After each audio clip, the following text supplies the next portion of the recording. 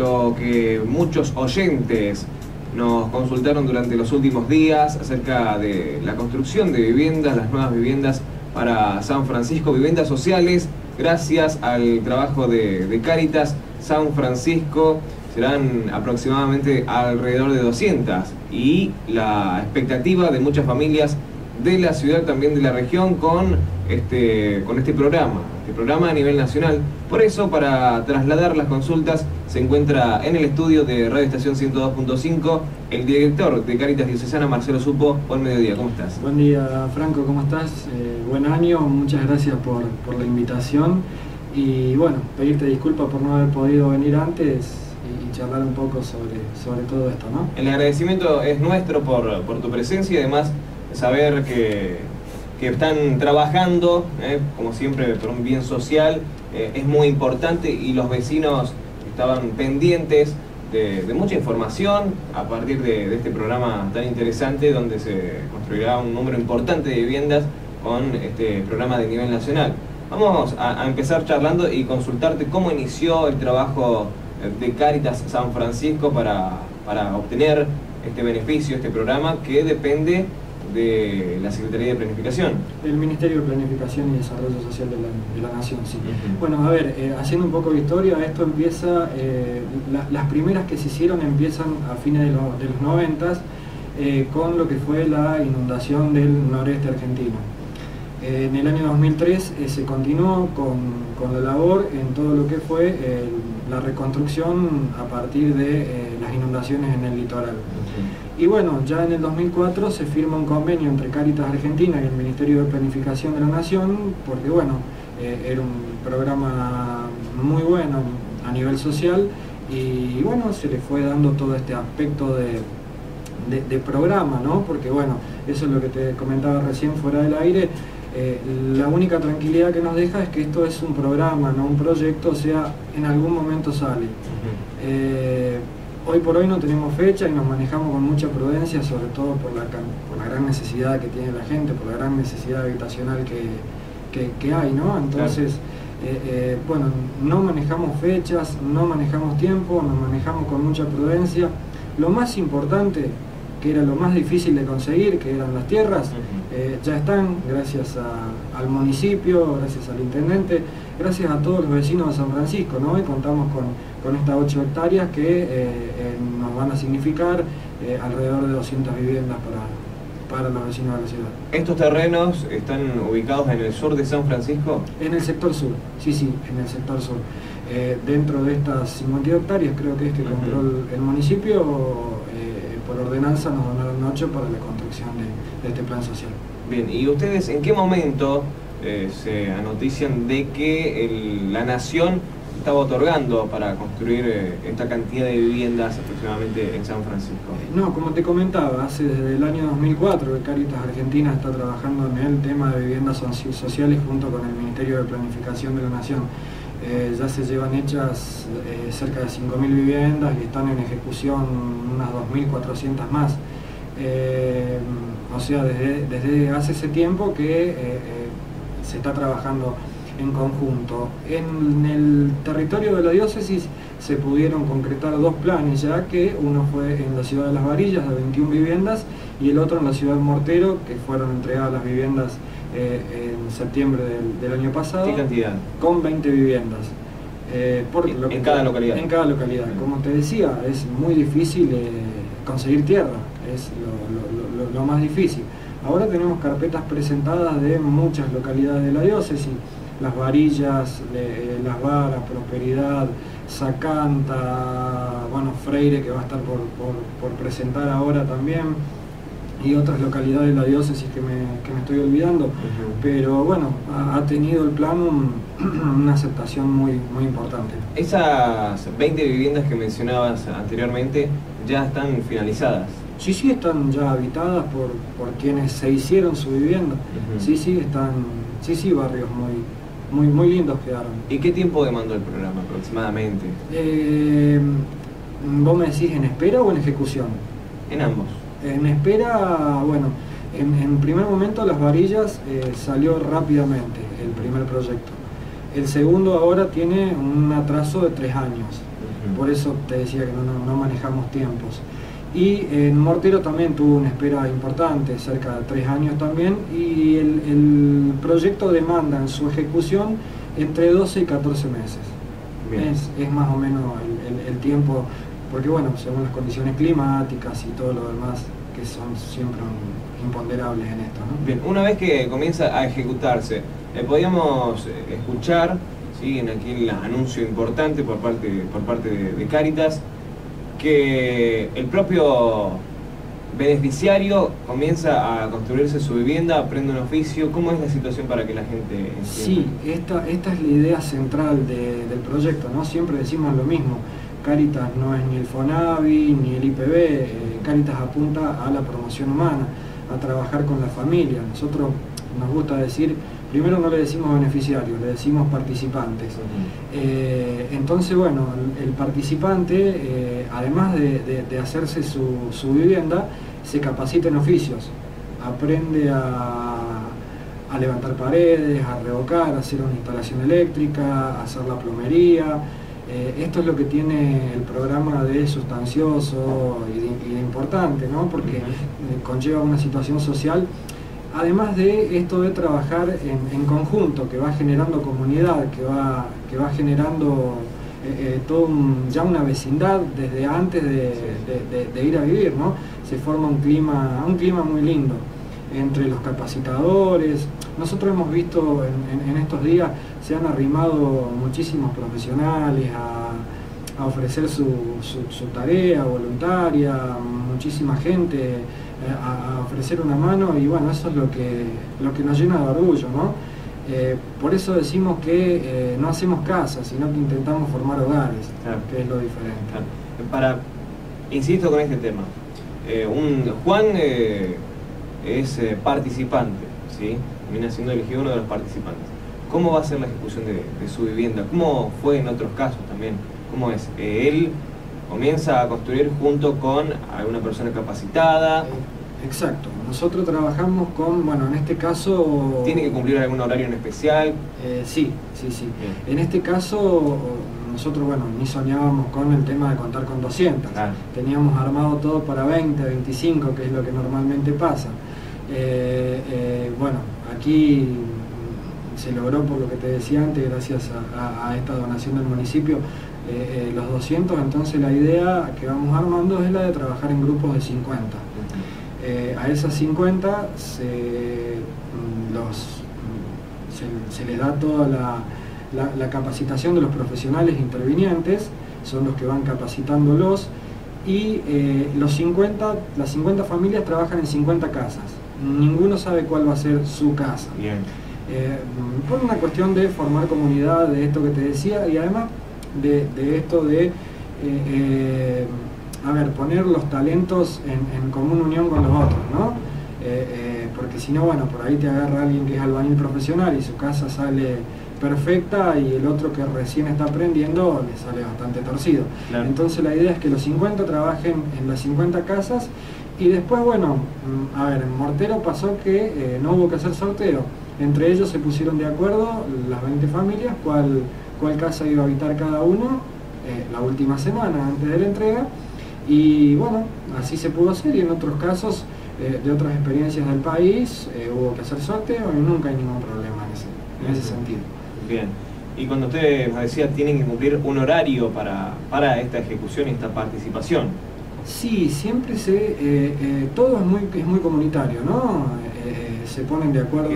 Sí, sí, se pone de acuerdo el grupo de ver qué cantidad de horas puede cada uno y, bueno, eh, eh, en qué momento hacerlo, porque a algunos le queda mejor a la tarde, a otros a la mañana, a otros a la noche. Eh, entonces, bueno, hay tareas para todo en una obra, además en algo de, tal envergadura, ¿no? es importante desde el que se va mate hasta el sereno, hasta el que hace la mezcla. todo es importante y todo suma así. ¿Qué cantidad de solicitudes ya tuvieron hasta el momento? Eh, cerca, de, cerca de 1800. Eh, cerca de 1800. Era el número que más o menos esperábamos de antemano. ¿Todavía hay tiempo de...? No, las inscripciones cerraron el 14 de diciembre. ¿Y saben, estiman cuándo se definirá a los participantes, a estos 200 participantes serían? No, como te decía antes, eh, eh, nos manejamos con mucha prudencia y mucha cautela, sobre todo por la necesidad de la gente, no queremos jugar con eso. Recién se les informará el día que el Ministerio de Planificación haya terminado de firmar todo y nos dé el, ok para bajar los fondos. Eh, ya no depende de nosotros, nosotros lo que estamos haciendo es gestionar, hasta ahora en tiempo de verano seguimos gestionando, eh, pero ya no depende de nosotros, ya no está en nuestras manos, es el Ministerio de Planificación de la Nación el que termina definiendo cómo y cuándo se dan inicio con estas cosas. Entonces, bueno, queremos ser muy prudentes por esto que te decía, como ser en las varillas eh, eh, están esperando un proyecto de 64 viviendas desde hace tres años ya, entonces es eh, tirar, una fecha sería... Sí, puede ser cercano o bueno. Sí, sí, tirar una fecha sería muy imprudente. Perfecto, perfecto. Dice, depende del Ministerio de Planificación. El Ministerio de Planificación, el accionar de ellos es enviar fondos, enviar los materiales, ¿qué, no, ¿cuál es su parte? a ver, el Ministerio de Planificación te envía los fondos, te lo envía en cuatro etapas al inicio de obra un 25%, eh, todo se hace con concurso de precios, eh, todo. Otra de las cosas importantes del proyecto se trata de eh, movilizar la economía regional, o sea, todo lo que se compra se trata de comprar en, la región para, esto de movilizar un poco las economías regionales, de movilizar gente, que los negocios puedan, puedan trabajar y todo lo demás. Una vez que enviaron ese 25% que te decía y que es rendido, eh, viene gente de Caritas Argentina y del Ministerio de Planificación de la Nación a supervisar que eh, todo esté mm, según, lo, según la rendición. Recién ahí te eh, hacen el segundo desembolso y así sucesivamente hasta el cuarto. Tratamos de que todo sea lo más transparente posible, por eso siempre desde la diocesana que está a cargo se le hacen dos auditorías, una auditoría le hace Caritas Argentina, una auditoría externa a Caritas Argentina termina de corroborar antes de que entre una auditoría general de la Nación. Eh, tratamos de que hasta el último clavo sea, sea rendido. Eh, creemos que la transparencia en esto es fundamental, entonces eh, eso es, es innegociable. Bien. ¿Cómo se seleccionarán a los participantes? Bueno, ya está trabajando un grupo de, profesionales en, cada una de las fichas, 1800 son muchas, nos va a llevar un tiempo eh, bastante largo. Tratamos de equivocarnos lo menos posible también en esto, sabemos que es bastante complicado. Eh, y bueno, una vez que los tenemos ya identificados, eh, se le pasa a, la Comisión Nacional de Cáritas, que también tiene su equipo de vivienda, con su grupo de profesionales que termina de corroborar que esté todo bien y después ya se le pasa al Ministerio de Planificación. Nosotros mm, como política tenemos de no darle aviso hasta que, hasta que no tengamos eh, todo totalmente finiquitado, por eso mm, también aprovecho el, espacio para pedirle a la gente tranquilidad y que no estén ansiosas, que bueno, si llega a salir algo nosotros vamos a ir personalmente a avisarle a cada uno. Bien. Cuando usted dice profesionales, ¿quiénes son? Trabajadores sociales. Trabajadores sociales de la ciudad que... Sí, sí, que están trabajando en Caritas ya hace, hace muchos años. Sí, sí. después bueno hay un grupo de eh, eh, profesionales de Caritas Argentina también, como te decía, que, viene a terreno también a, terminar de, de finiquitar también un poco todo para tratar de que todo sea lo más transparente posible, de que no haya cuestiones de amiguismo, de de, nada de eso, ¿no? Bueno, a ver, eh, eh, Caritas en la diócesis tiene muchos años trabajando y es como que conoce también un poco la, realidad social. ¿Cuáles son las prioridades que tienen en cuenta para, que una familia que es seleccionada No hemos fijado todavía así fuertemente los criterios, pero normalmente como son casas de tres dormitorios, con 74 metros cuadrados y demás, eh, bueno, las características de la familia suelen ser de familias numerosas y demás. Pero no, no, no nos animamos tampoco a marcar un prototipo de familia porque hoy las realidades son, son muy, muy diferentes y hay casos, casos puntuales de que hay que mirar. Eh, siempre decimos, a ver, hoy no sabemos, se ha corrido mucho eh, el tema del desfasaje social, no sabemos hace un par de años atrás alguien que ganaba 5 mil pesos era un sueldo más que importante. Hoy alguien que gana 5 mil pesos, tiene cuatro chicos y paga 2 mil de alquiler, eh, bueno, ya es para, para empezar a observar. Se entiende, se entiende. ¿Cómo está Caritas hoy, Caritas San Francisco, eh, en la actualidad con respecto a los trabajos, a las actividades que se previstas para este 2013? Bien, bien, estamos, estamos muy contentos, estamos trabajando, a ver, se sigue trabajando en, todo lo que es asistencia, porque es, lógico que para hacer cualquier tarea de promoción humana, primeramente uno tiene que estar bien alimentado y bien vestido, entonces las tareas de asistencia de las cáritas parroquiales eh, se mantienen, ahora estarán empezando los primeros días de febrero ya con, con, todo esto y con todo lo que tiene que ver con el ciclo lectivo y trabajando fuertemente en la promoción humana en lo que son los espacios educativos de MAUS, eh, hemos tenido un 2012 muy bueno, con deserción escolar cero y prácticamente repitencia cero.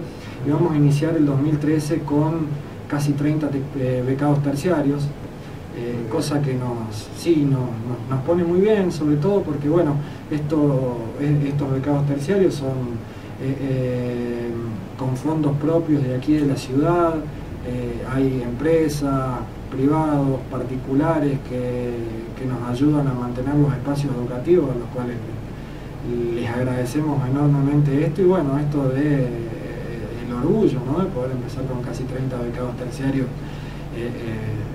Y bueno, creemos que la educación es una herramienta fundamental para la inclusión social, por eso apostamos fuertemente a esto. ¿Qué cantidad de personas trabajan y colaboran en Cáritas aproximadamente? En la diócesis de San Francisco tenemos alrededor de 400 voluntarios.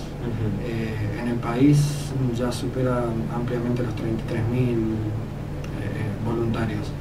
Eh, es un trabajo bastante importante en cada uno de los barrios, podríamos decir, de, porque bueno, en cada, en cada parroquia de, de la ciudad hay una carita parroquial trabajando. Entonces es un número importante y una cobertura importante desde, lo social. Usted menciona voluntarios. ¿Hay alguien que tenga remuneración económica por el trabajo y, la, colaboración? Eh, bueno, en, lo que es la, la Caritas Diocesana sí hay una o dos personas que tienen alguna remuneración porque tiene alguna carga horaria muy, muy importante, ¿no? Pero bueno, en su mayoría Caritas Argentina lo que tiene es un voluntariado muy fuerte.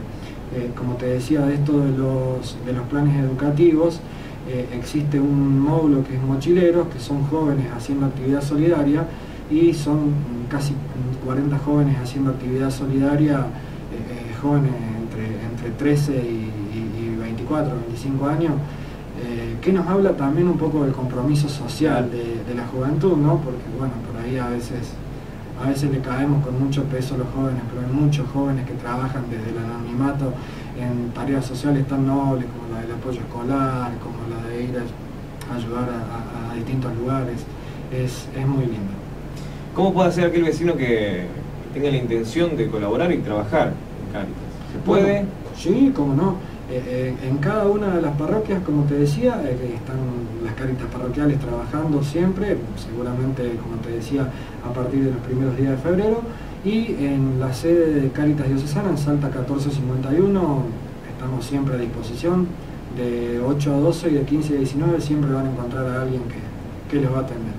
Marcelo Supo, muchas gracias, felicitaciones por todo el trabajo que están realizando y todo, toda la actividad que está prevista para este 2013 esperemos que, se pueda dar lo más pronto posible para el bienestar de, todas, todas aquellas familias que estén esperando con este programa de viviendas sociales que es espléndido y realmente, realmente será con éxito en, San Francisco, esperemos que así sea y gracias por el tiempo. Muchas gracias a vos, Franco, muchas gracias a la emisora. Seguramente en los próximos días los estaremos molestando para dar inicio a una campaña que hacemos ya todos los años, desde hace cuatro años con la Cruz Roja, para juntar útiles escolares para estos espacios educativos que te decía.